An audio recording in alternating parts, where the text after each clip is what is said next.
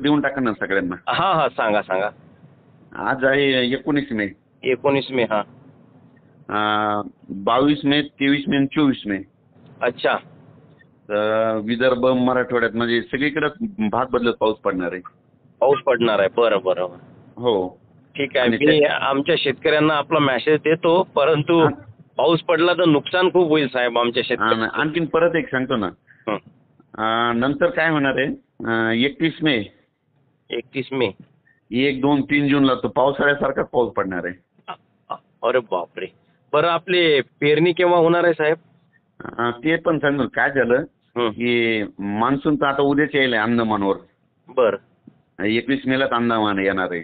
अच्छा. पण काय होईल ते आल्याच्यानंतर हं, हं. पाऊस बिलकुल अं, त्याच्यानंतर सव्वीस सत्तावीस ला इतका सक्रिय व्हायला मान्सून. सव्वीस सत्तावीस ला बरं म्हणजे. सक्रिय खूप व्हायला.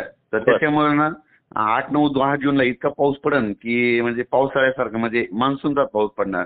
म्हणजे. यावर्षी म्हणजे खूप पोषक पर- परिस्थिती पेरणीसाठी. पण. परिस्थिती अशी झाली शेतकऱ्यांनी शेतं दुरुस्त केली नाहीत. नाही अजून शेतकऱ्यांच्या किस्त काढ्या बाकी आहेत.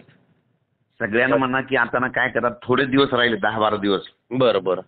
काम करून घ्या कारण की ना इतका पाऊस पडेल की एकदा तुम्हाला निर्णय म्हणजे पेरणी करावं का नाही करावं असा निर्णय होईल तुमचा. बापरे. हो.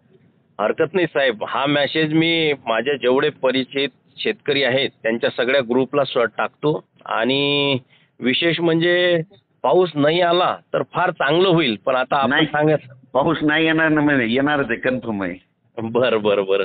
आणि धन्यवाद. मी मी किती दिवसापासून म्हणतो यावर्षी मान्सूनचं आगमन आठ जूनला हा होणार आहे. तुम्ही तर हे एक वर्षापासून आपले जे प्रोग्राम सुरू आहेत तिथं सांगत आहात तुम्ही की यावर्षी पावसाळा लवकर राहील.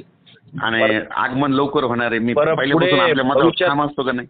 पुढे जे आहे जुलै ऑगस्ट सप्टेंबर पाऊस कसा राहणार आहे? म्हणजे पिकाची राहणार आहे जास्त जास्त राहणार आहे.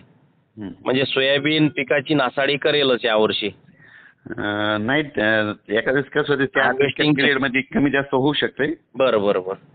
हो, वेळ भेटेल तितके दहा बारा दिवस. चालेल चालेल साहेब. धन्यवाद.